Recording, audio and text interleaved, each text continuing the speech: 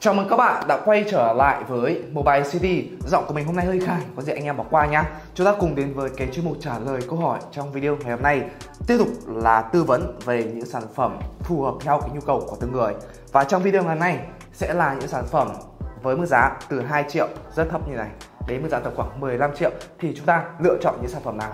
Và việc nha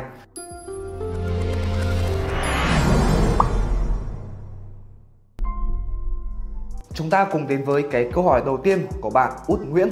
Có điện thoại nào chơi game mượt khoảng 1 đến 2 triệu? Em cảm ơn. Máy mới và máy cũ đều có nha. Nếu như mà máy mới đi, thì mình recommend cho bạn sản phẩm ổn nhất tầm giá khoảng 1 khoảng 2 triệu là Realme Nazo 50e Prime. Sản phẩm này thì cùng tầm giá rất hiếm.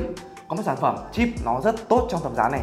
Về thiết kế rồi là về hiệu năng thì Realme Nazo 50 là một sản phẩm mình thấy là hợp lý nhất trong tầm giá máy mới khoảng 2 triệu nha còn nếu như bạn muốn một cái trải nghiệm nó ngon lành hơn, làm sản phẩm may cũ nhưng đổi lại các bạn sẽ có một cái cấu hình mạnh hơn, trải nghiệm gaming nó sướng hơn.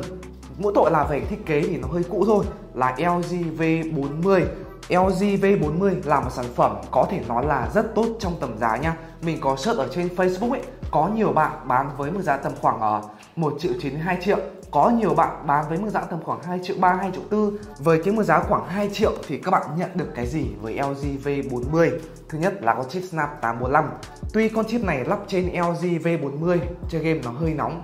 Các bạn có xóa game tuner này thì chơi game có thể là nó mượt mà hơn một chút nó chỉ cải thiện một phần nào đấy thôi. Thêm một cái ưu điểm trên LG V40 là về độ phân giải rất cao các bạn nha lên đến 2K về tấm nền trang bị vẫn là POLED thôi. Nó giống với lại một vài cái mẫu máy của LG gần đây kiểu LG V50s rồi là LG V60 chẳng hạn. Tầm cho quét thì chỉ là 60 thôi. Đấy còn lại thì về những cái trải nghiệm khác chụp ảnh thì uh, không không không phải là quá ngon nhưng mà với 2 triệu là ổn rồi. Đặc biệt với cái cam selfie trên LG V40 rất ngon nhá rất đẹp luôn.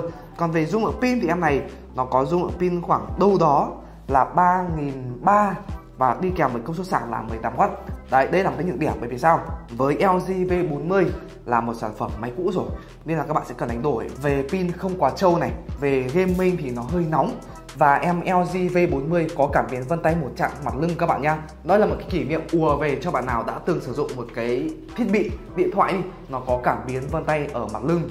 Ví dụ như là mình đi, mình có sử dụng hai cái thiết bị của Redmi là Redmi Note 4X và Redmi Note 5 Pro đều có cảm biến một chạm mặt lưng ấy, rất là hay luôn. Câu hỏi đến từ bạn Hùng VK AD cho em hỏi tầm 5 triệu thì có máy nào chơi game tốt không ạ? Nhu cầu chơi game lâu khoảng 3 đến 4 giờ max setting Free Fire và Liên Quân, pin trâu tầm 5000, sạc nhanh trên 80W, màn hình tầm 90Hz hay là 120. Có AMOLED thì càng tốt, 64GB cũng được ạ, nhưng phải là RAM 8GB, em mua trên Mobile City ạ. Nếu mà để thỏa mãn đầy đủ 100% cái nhu cầu của bạn ấy thì nó sẽ hơi là hơi hơi khó, hơi khó các bạn có thể hy sinh một chút về cái công suất sạc nó không phải là 80W mà là 67W được không? Redmi Note 11e Pro. Sản phẩm này nó sẽ hội tụ đầy đủ các yếu tố, cái nhu cầu của bạn, trừ mỗi cái công suất sạc thôi.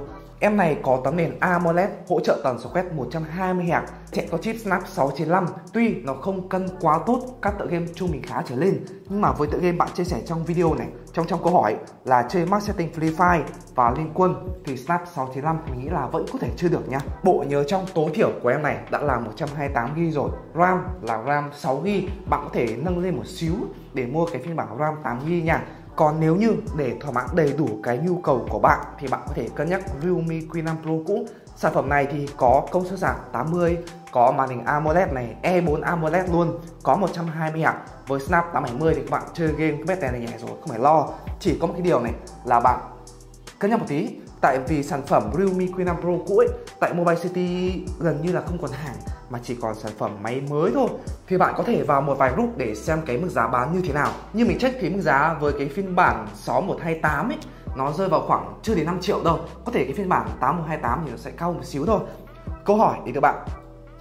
Đêm he là gì? Thôi, có thể mình đọc sai bạn thông cảm nhá. Anh ơi, cho em hỏi có máy nào 6 đến 8 triệu? Chính hãng mà dùng 4 đến 5 năm không ạ? Không quan trọng camera, em chỉ cần 128g vừa chơi liên quân mượt thôi ạ. Không quan trọng thiết kế, em cảm ơn anh. 6 đến 8 triệu bạn có thể cân nhắc một trong hai sản phẩm sau. Thứ nhất là Poco e F4. Thứ hai là Xiaomi 11T chạy Dimensity 1200 Ultra ấy. Còn để cho mình uh, recommend một trong hai sản phẩm nhá thì mình sẽ nghiêng nhiều hơn về Poco e F4 chạy Snap 870.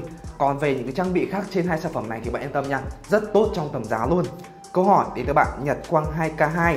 Anh ơi, trong tầm 9 đến 15 triệu nhu cầu chơi game liên quân marketing, tác vụ mạng xã hội dùng 3 đến 4 năm thì nên mua máy nào? Em ưu tiên hàng chính hãng có quá nhiều lựa chọn trong cái mức giá tầm khoảng 9 đến 15 triệu thì mình sẽ recommend cho bạn à, hai sản phẩm nó đến từ hai cái thương hiệu rất lớn và mình khuyên bạn nên lựa chọn sản phẩm có thông báo tốt này, đa nhiệm ngon lành. Tại vì sao? Đã mất tiền mua mâm thì phải đâm cho thủng thì mình sẽ tư vấn cho bạn sản phẩm đầu tiên là iPhone 12 Pro Max cũ. Với cái bộ nhớ trong tối thiểu nó đã là 128GB rồi. iPhone 12 Pro Max là một sản phẩm nó vẫn cực kỳ đáng mua ở năm 2023 các bạn nha. Các bạn sẽ có một thiết kế mới. Đấy, nó không giống kiểu iPhone 11 Bây giờ chúng ta sẽ có một thiết kế vuông vức hơn Cầm nắm thì nó sẽ hơi bị cần tay chuyển đầu. Các bạn cầm quen rồi thì không sao. Các bạn sẽ có một cái mẫu điện thoại chụp ảnh rất đẹp Loa rất to đúng không? Tóm lại về trong tầm giá này, khoảng ờ, đâu đó là gần 15 triệu thì với iPhone 12 Pro Max, nó đảm bảo tất cả cái nhu cầu của bạn. Chơi game nhẹ thì với iPhone này hay một sản phẩm mình sắp nhắc tới ở đây, hiệu năng không phải là quá tốt trong tầm giá nha. Sản phẩm đó chính là đối trận của iPhone, Samsung Galaxy S22 Plus. Gần đây mình đã có một cái video đánh giá lại S22 Plus, các bạn có thể xem lại nha. Tiệu chung lại với S22 Plus nó có cái ưu điểm gì? Chụp ảnh rất là đẹp trong điều kiện đủ sáng này. Các bạn có thể chụp phát ăn ngay đăng Facebook, Story các thứ ngon lành luôn. Cái thứ hai về màn hình trên S22 Plus nó không quá to giống như là S22 Ultra hay là không bị quá nhỏ giống kiểu S22 ưu điểm thứ ba nữa thiết kế S22 Plus nó không bị lỗ thời các bạn. Chỉ là về cái dung lượng pin trên S22 Plus nó không phải là quá trâu nhá. Nhưng nếu cho mình lựa chọn thì mình sẽ cân nhắc nhiều hơn về iPhone 12 Pro Max vừa rồi là một vài cái câu hỏi mình có trả lời các bạn. Ngoài ra, các bạn còn câu hỏi nào thêm? Để là comment bây giờ nha, thì mình sẽ sắp xếp trả lời dần cho các bạn thôi. Rất cảm ơn các bạn đã xem đến đây. Còn bây giờ, xin chào và hẹn gặp lại các bạn trong những video tiếp theo. Bye.